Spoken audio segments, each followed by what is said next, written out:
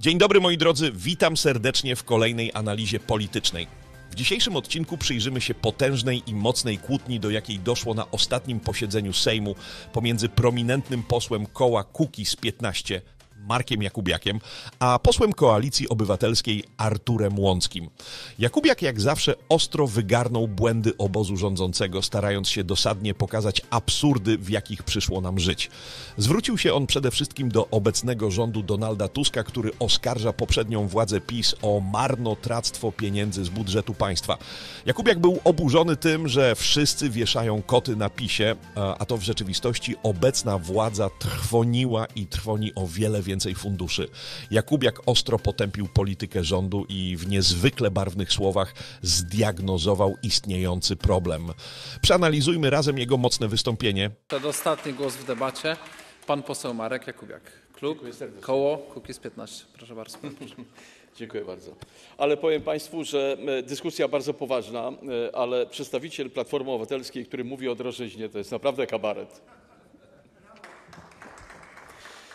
Proszę Państwa, różnica polega, ja, ja, Państwu jako przedsiębiorca może to wytłumaczę, bo przedziwna ta dyskusja tutaj jest na temat realizacji budżetu za 2023 e, rok. Otóż to jest tak, że mm, e, porównuje się pewne byty. Pewne byty, które mają swoje cele, jakieś tam ograniczone e, do, do swoich działań i Powiem, e, jak ja widzę porównanie rządów Platformy Obywatelskiej e, i PiSu. Otóż ja to widzę tak, że ten, którego dzisiaj tak bardzo ścigacie, Daniel Obajtek, zrobił rocznie większy przychód niż cała Polska za waszych rządów. Niż budżet z 2015 roku. I powiem tylko tyle, że dla was jest to wstyd, nie ulega to żadnej e, wątpliwości, e, ale też i prawda objawiona, że po prostu Polską trzeba umieć rządzić. No.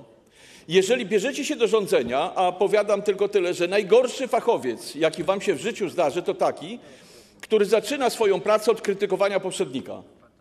Ja myślałem, że dzisiaj tutaj staniecie i powiecie, może i było źle, ale dzisiaj mamy plan na Polskę taki i taki. Będzie Polska miała dwa razy większy budżet niż miała.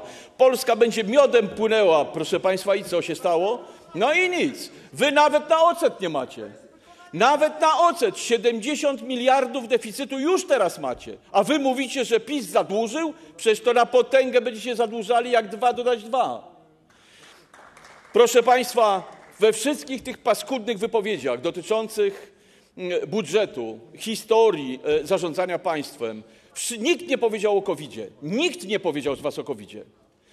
A bezczelnością do kwadratu jest to, że się mówi, PiS źle rządził, bo nie dostał KPO. Przecież przez kogo tego KPO nie dostał? Przecież to wy żeście spowodowali zablokowanie środków KPO. Co wy, sklerozę macie? No ludzie, no. Przecież to wy żeście razem z Niemcami zagładzali Polskę.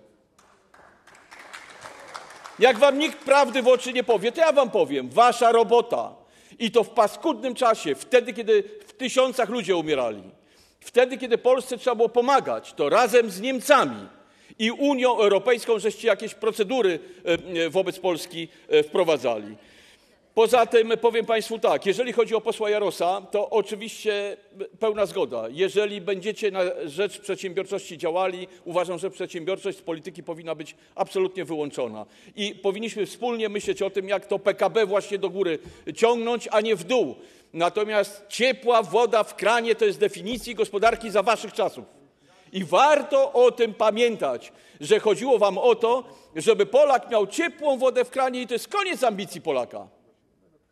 No i powiem tylko tyle. Ja dziękuję panu Morawieckiemu za to, że e, i PiSowi za to, że ambicje Polakom włączył, że Polacy mieli e, e, spojrzenie w przyszłość, że o Polsce mówiono w Europie z godnością.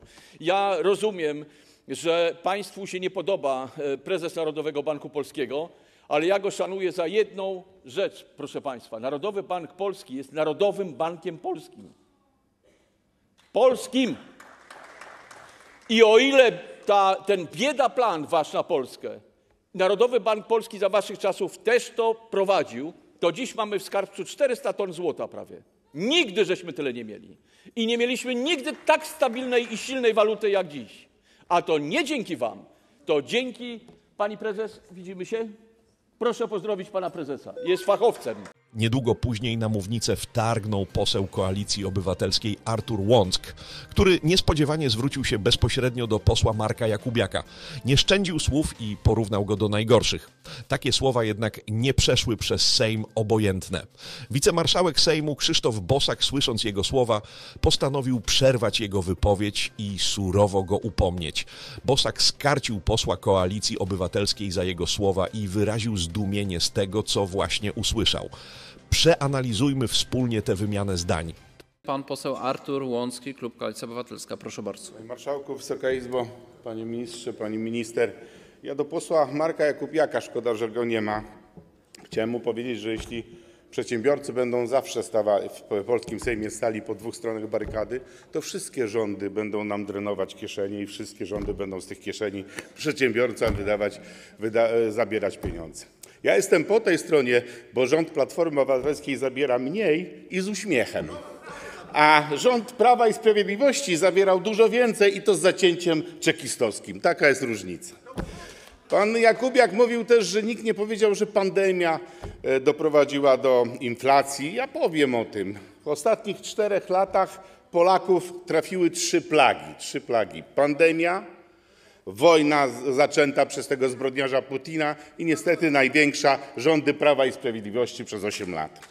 Ta plaga zabrała Polkom i Polakom najwięcej z kieszeni i ta plaga nie pozwoliła Polkom i Polakom, e, Polakom się bogacić i oszczędzać. Pani minister, jedno pytanie. Ja bym chciał, żeby pani nam powiedziała, czy na piśmie odpowiedziała, jaki był udział, udział kosztów obsługi zadłużenia e, polskiego od roku 1000 2019 do 2023, procentowo i liczbowo przez każdy rok. I to pokaże Państwu, jak, rządziło Prawo i Sprawiedliwość z panem ministrem Gróbarczykiem.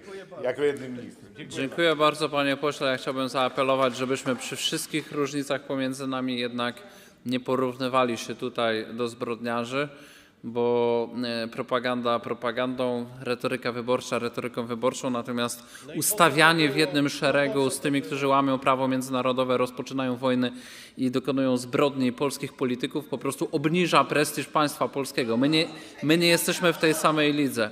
Kłó- Kłóćmy się tutaj, panie pośle. Kłóćmy się tutaj, panie pośle, ale nie jesteśmy w tej samej lidze, co ci, którzy inicjują wojny i popełniają zbrodnie na arenie międzynarodowej. Koniecznie dajcie znać, co sądzicie o tej kłótni. Który z panów posłów miał rację, a który po prostu się zbłaźnił?